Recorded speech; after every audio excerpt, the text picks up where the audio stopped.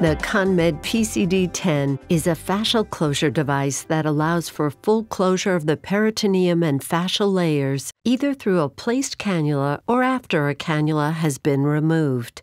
The unique design of the PCD10 fascial closure device allows for a reproducible, single operator port site closure technique while maintaining pneumoperitoneum and minimizing the risk of internal organ injury.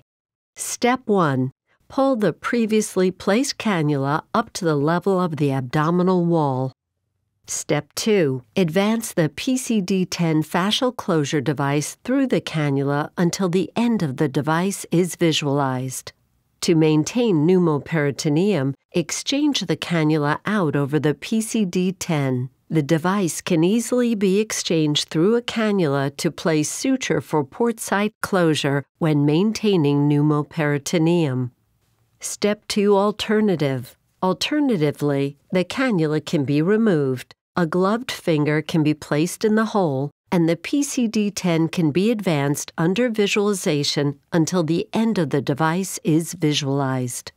Step 3 Under direct visualization and using the guide knob on the top of the device, open the needle a full 180 degrees. The unique J shaped suture placement needle minimizes the risk of internal organ or tissue injury because the sharp end of the needle points away from internal organs when in use. Step 4.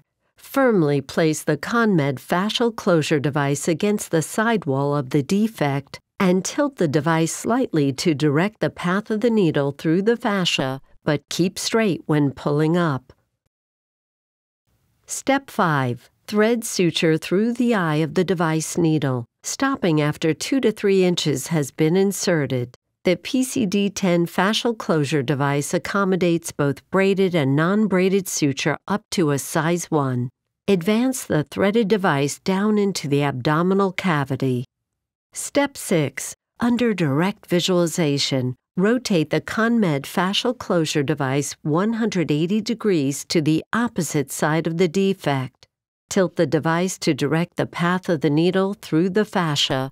Pull the device up through the tissue of the abdominal wall and remove the suture from the end of the needle. Step 7. Holding the suture, advance the device back into the abdominal cavity and rotate the guide knob back into its initial position to realign the needle with the device body. Remove the device and close as desired with the suture in place. For more information, refer to the instructions for use.